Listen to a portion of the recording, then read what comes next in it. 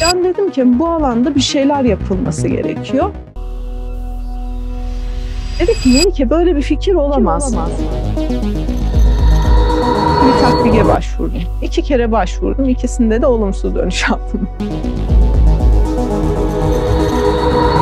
Cumhurbaşkanımızın elinden ödül aldık. Melike Bağcı, Merkür Savunma Teknolojileri Anonim Şirketi kurucusuyum.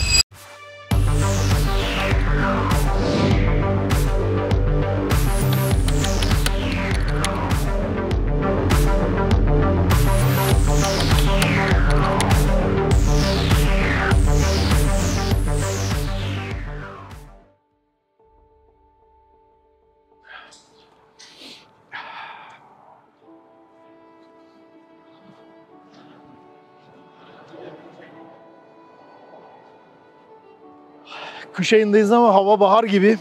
Ankara yolundayız. Çayımızı aldık. Bugün farklı bir hikayeyi birlikte izleyeceğiz. Bugün sizi Melike Hanım'la tanıştıracağım. Melike Hanım mühendis, bir kadın bir girişimci ve şu an çok gündemde olan bir konuyla ilgili ürünler geliştiriyor. Bunlardan birincisi Tura sistemi. Tura sistemi insansız hava araçlarının siber saldırılara karşı nasıl önlem alınıp düşürülmesini önleyen bir sistem. İkinci sistem ise Aytar. Giyilebilir bir teknoloji. Giyilebilir deyince nedir diye sorabilirsiniz. Hemen şöyle bir örnek vereyim. Ukrayna Savaşı'nın kaderini aslında o ufacık sivil dronlar oluşturuyor. Çiziyor savaşın kaderini. Ve kişisel bir askerin bunlardan haberdar olması, yapılacak saldırının önlenmesi için giyilebilir, neredeyse bir kilogram civarında bir sistem var. Onları bulan bilim insanı aynı zamanda ve bir girişimci. Melike Hanım'ın hikayesini Ankara'da beraber izleyelim. Ankara'da Teknopark'a geldik. Şimdi Melike Hanım'la buluşacağız. Bize hem çalışmalarını anlatacak hem de geliştirdiği ürün hakkında bilgi verecek.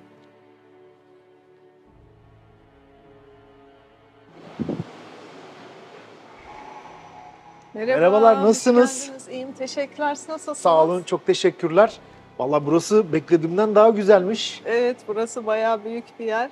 Ee, bir sürü firma var yani 400'e yakın firma var burada. 400'e yakın firma Aynen, var. Kuluçka'da 100 firmamız var. Kuluçka'da Ee, 100 firma. Aynen, böyle e, aktif bir teknopark. Hatta ben size şeyi e, de göstereyim. Şuradaki nar ağacı da buradaki firmaların her birine birer nar var. Bakalım mı beraber bir görelim Olur. bakalım. Nar, nar ağacında neredesiniz? Dedik ki bize en üste koyun, biz hızlıca uçup gideceğiz. Kuşun üstüne koyun dedik. Nar, nar kuşla beraber. Ankara'da doğdum. Sade bir ailede dünyaya geldim. Babamın işinden dolayı köy okulunda başladı benim hikayem. Daha sonra Ankara'ya e, Keçiören'e, ondan sonra Demeteriler'de okul ve lise e, eğitim, ortaokul lise eğitimimi tamamladım. İmam Hatip Lisesi mezunuyum 2000 yılı. O dönem eğitim sisteminden dolayı önce 2 yıllık elektronik bölümünü kazandım.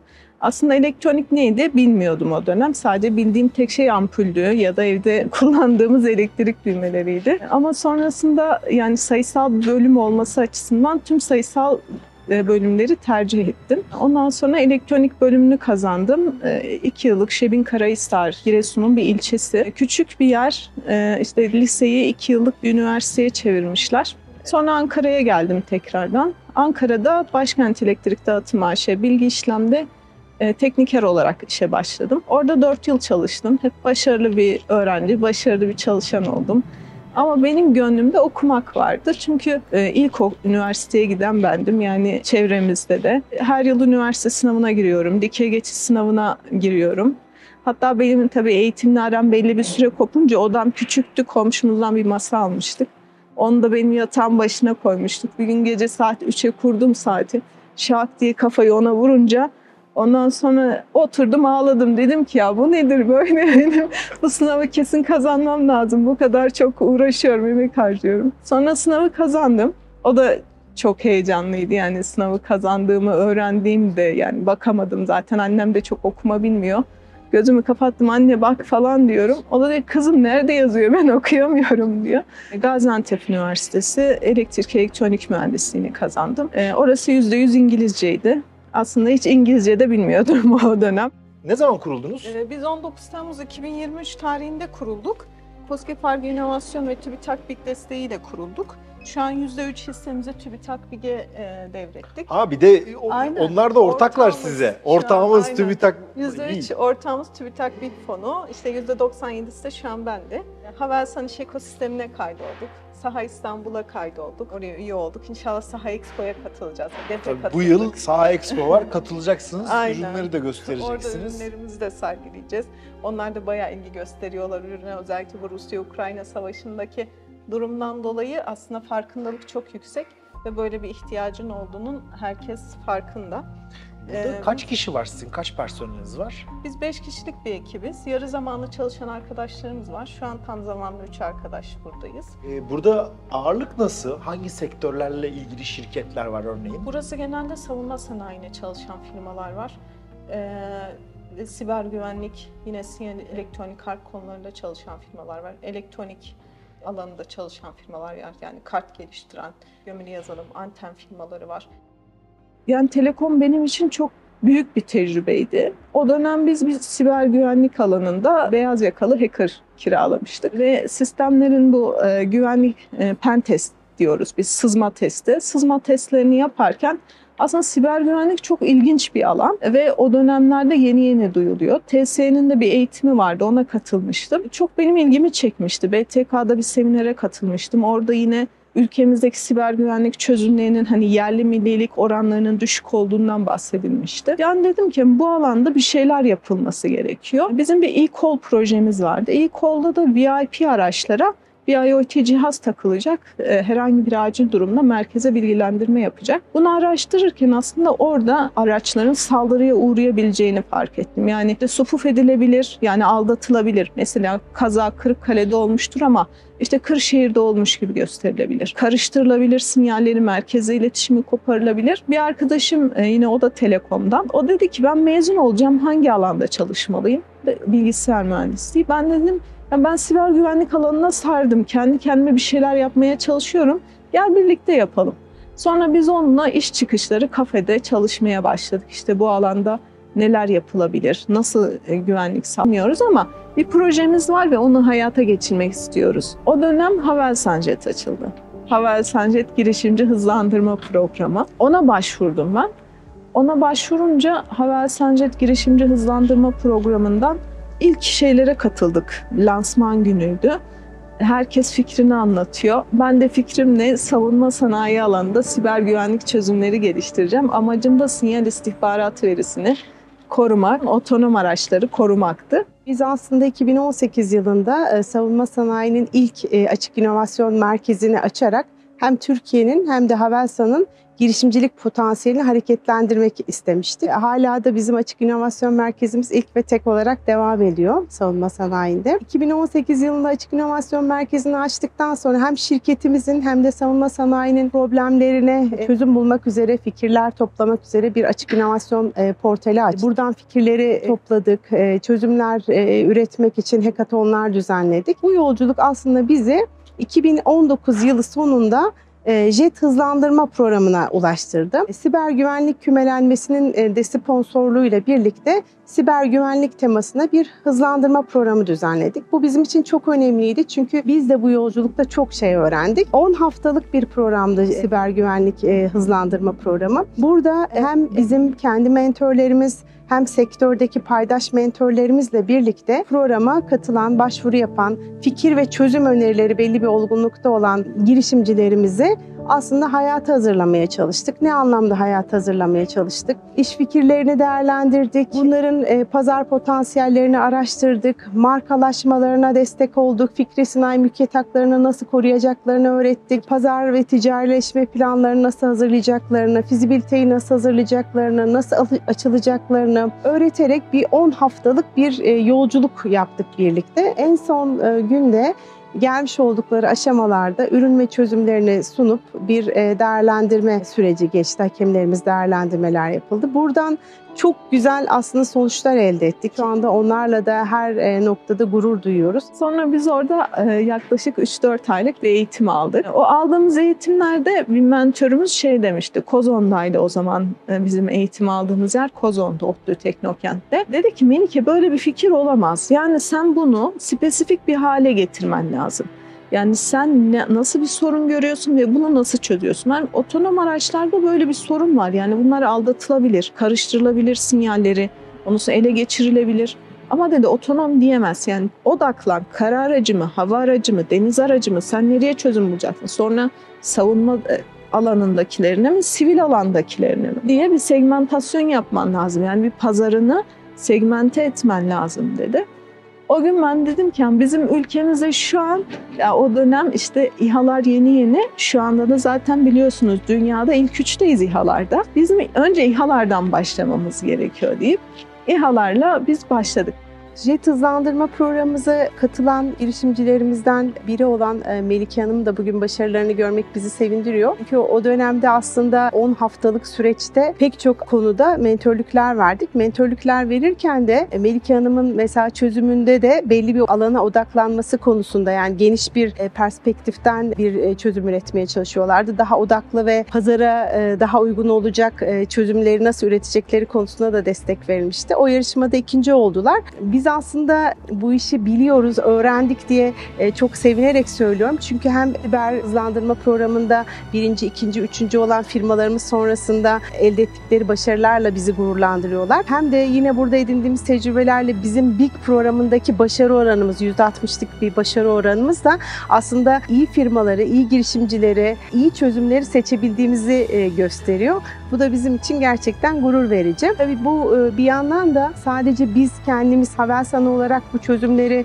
e, kullanmak, uygulamak değil ama e, savunma sanayi sektöründe de bu çözümlerin, ürünlerin uygulanması konusunda iş ağları geliştirme noktasına da mentörlükler yapıyoruz. Çünkü bu birinci aşamada yani biz TÜBİTAK, BİGE girişimcileri önermeden önce tüm bu iş ağlarını oluşturuyoruz. Potansiyeli olabilecek e, firmalarla görüştürüyoruz. Onlarla birlikte belki çözümü geliştiriyorlar, değiştiriyorlar, farklı bir boyuta taşıyabiliyorlar. Bunlar da güzel aslında bizim için sonuçlar. TÜBİTAK BİG'e başvurdum. İki kere başvurdum. İkisinde de olumsuz dönüş aldım. Projem e, kabul görmedi. Kabul görmemesinin sebebi de şuydu. O dönem TÜBİTAK 200 bin TL veriyordu. Bu zor bir proje, kapsamlı bir proje. Hani TÜBİTAK'taki o destekle yapılamayacak bir proje diye bir olumlu geri bildirimle aslında doğru bir şekilde bir geri bildirimle dönüş oldu. Sonrasında ben vazgeçmedim tabii ki. Bilişim Vadisi mobilite hızlandırmaya başvuruda bulundum. Dedim ki daha fazla insana anlatmam lazım bu projeyi. Daha fazla kişi bilmeli.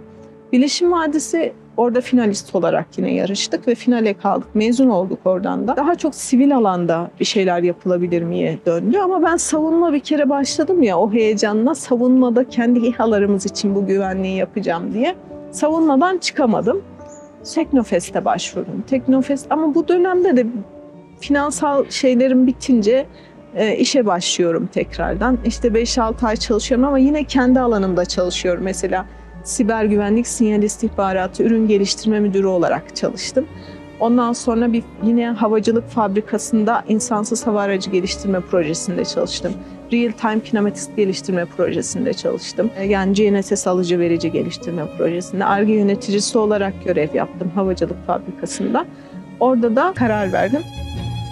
Sizin ofis burası değil mi? Evet burası. Biz bir, Altınoğlu ofisteyiz. Altınoğlu ofis. ee, bir ekibi görelim, arkadaşları görelim buyurun. bakalım. Teşekkür ederim, sağ olun. Ee, Sera e, yazılım tarafından arkadaşım. Merhabalar, merhabalar. Kolay gelsin, kolay gelsin. Sizi bir tanıyalım. Ne yapıyorsunuz burada? Tabii, ben Serra Hanım Çam. Merkür Savunma Teknolojileri Anonim Şirketi'nde Melike Hanım'la birlikte yazılım geliştirme kısmında, gömülü kısmında ve aynı zamanda da sinyal kısmında çalışıyorum. Ve aynı zamanda da e, Ayter cihazımızın e, sinyalini kestiği drone'un da pilotu oluyorum. O drone pilotlu da yapıyorsunuz. e, böyle bir yeni faaliyette başlamış bir şirkette çalışmak aslında burada diyorsunuz drone pilotluğu yapıyorsunuz. Evet. Yazılım var. Aynen. Elektronik mühendisiniz. Burada neler öğreniyorsunuz? Yani nasıl görüyorsunuz yeni bir başlangıç yapan şirkette çalışmayı? Yeni bir başlangıç yapan şirkette çalışmak bence doğru bir karardı kendim açısından bunu söyleyebilirim. Çünkü e, her konuda ilerleyebiliyorsunuz. Farklı alanları aynı anda görebiliyorsunuz. Farklı işleri aynı anda yapabilme kabiliyetine sahip oluyorsunuz. Testlerde de Melike Hanım'a yardımcı oluyorum. Bir ekip olarak test gerçekleştiriyoruz. Hatta geçen de testte bir macera geldi başımıza diyebilirim. Drone'un sinyalini kopardık ki zaten hedefimiz de buydu. Sinyalini kopardıktan sonra drone'umuzu geri almak istedim tabii ki de kullandığım için ve daha doğru koşmaya başladım. Daha sonrasında köpekler peşinden geldi. 6-7 tane köpek. Melike Hanım sesi duyunca köpekleri tabii o da arabaya atladı geldi yanımıza. Böyle 200'le Melike Hanım önünden geçtiğimi gördüm. Daha sonrasında tarlaya girdi, beni aldı. Sonra bir kaçtık. Arabaya bindiğimde hatta şey dedim hani SSB dedim bu halimizi görse ürünü kesinlikle almak ister bu gayretimizi, emeğimizi dedim. Bence yanına drone savarla birlikte köpek savar da e, geliştirebilirsiniz. Evet onu da düşünüyoruz kesin. birçok sorumluluk yüklüyor savunma alanında girişim olmanız. Böyle olunca yani bir ARGE nitelikli projeyi destekleyecek, sahaya daha hızlı çıkabilecek bir ürüne ihtiyacı var. Ve böyle ikinci bir proje fikri geliştirebilirsin dediler. Yaptığım araştırmalarda Rusya-Ukrayna savaşı var. Bizim de e, kendi sistemimize saldırmak için kendi yazılımımızla saldırı yapıyoruz. Ben ki yani bu tamam büyük İHA'lara etki etmez ama küçük İHA'lar için biz bunu direkt bireysel güvenlik için kullanabiliriz. Sonra dünyada bunun örnekleri var mı? Araştırdım. İki firma yapıyor. Böyle bir ürünü biz de yapabiliriz dedim. Baktım tüm ürünler genelde en hafifi 15 kilogram. İşte araç tipleri var. Bizim 1 kilogram ağırlığında işte askerin üzerinde taşıyabileceği, onun bireysel can güvenliğini sağlamayı hedefleyen bir ürüne ihtiyacımız var. Ve bu çalışmaya başladık.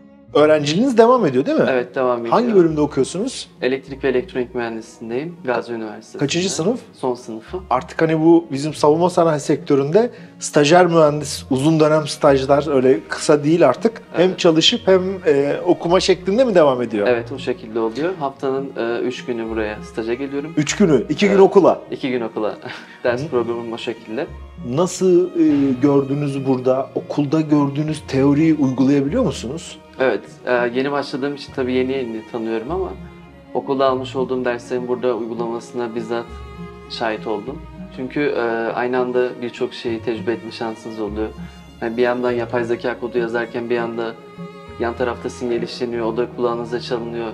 Yani birçok şeyi aynı anda öğrenme fırsatınız oluyor. Artık finansal kaynak tükendi. Bir personelim vardı ama ona sigorta yapamadığım için işten ayrıldı. Ben kaldım böyle. Arkadaşlarım yarı zamanlı destek olabiliyor. Ben Teknopark'a her gün geliyorum, işe gelir gibi ama ne yapacağımı bilmiyorum. Ee, nasıl yapabilirim? Kaynak yok.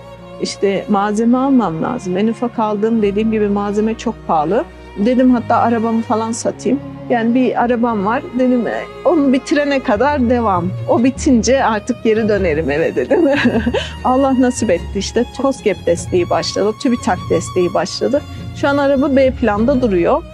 Eğer bundan sonra yine sıkışırsak çalacağımız kapı belli. Aytar projesi giyilebilir taktiğe karşı tedbir sistemi. Orada hedefimiz bizim askeri personellerin bireysel güvenliğini sağlamak. Bir kilometre menzilde bir koruma kalkanı sağlıyor diyebiliriz. Aytar eski Türkçe'de haberci, casus demek. Öncelikle İHA'ların e, sinyallerini tespit ediyor. Onların hangi marka model olduğunu ve tehdit olduğunu bilgisini veriyor. Bunu sesli titreşimli bir ışıklı olarak uyarabiliyor. Ondan sonra karşı tedbir olarak karıştırma, aldatma, kontrol ele geçirmeye yönelik fonksiyonları var. Şu an karıştırma konusunda GNSS ve RC video karıştırma konusunda başarılı algoritmalarımız var. Bunun sahada testlerini yapıyoruz. E, Hatta testleri göl başında yapıyoruz bizim köyümüzde.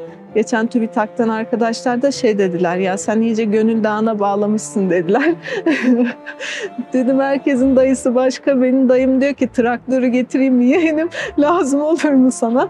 Ee, Yani e, böyle kendi köyümüzde çalışmalar yapıyoruz. Ve beklediğimiz performansın üzerinde de şu an performans sergiliyoruz. Bizim hayalimiz savunma sanayinde ARGE nitelikleri yüksek. Yani ARGE'sini yapıp Sonrasında bununla ilgili ürünler geliştiren, yenilikçi çözümleri araştıran, yeni savaş yöntemlerini araştırıp bunlarla ilgili hızlı çözümler geliştiren bir firma olmak. Bu şekilde büyümeyi hedefliyoruz. Bugün Ankara'daydık. Teknopark'ta bir kadın girişimcinin hikayesinin peşinden gittik. Melike Bağcı, Ankara Gölbaşı yakınlarındaki köyden başlayıp günümüze sürekli çalışarak, zorluklardan pes etmeyerek geldi. Bir hayal kurdu. O hayalin peşinden de ayrılmadı. Sadece savunma sanayi değil, birçok alanda Melike Hanım gibi girişimcilere ihtiyacımız var.